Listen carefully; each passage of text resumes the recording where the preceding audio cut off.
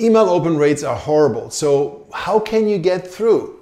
Here is a fantastic way you can get through by using voice and video. So on social media, use the messenger, Instagram Messenger, Facebook Messenger, and instead of sending text, send a voice message.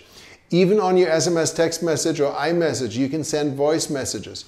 Use video messages, especially video email with BombBomb. Now, why are voice and video messages so effective? Well, because people are curious. They see your message, but they have to listen to it or they have to watch it in order to know what's there. And so they can't ignore it.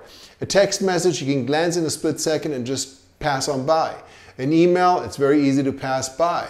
But a video message or a text message, especially on social media, is very, very hard to pass by. And it's a lot more impactful than just a typed text message. So try this out next time and see what kind of feedback you get. I think you're going to be surprised. I found that using voice messages on social media is absolutely killer. I mean, it's going to get you so much more attention than text messages alone or email ever will. Hope you found this helpful. I'm Thomas Heimann with Realty Partners.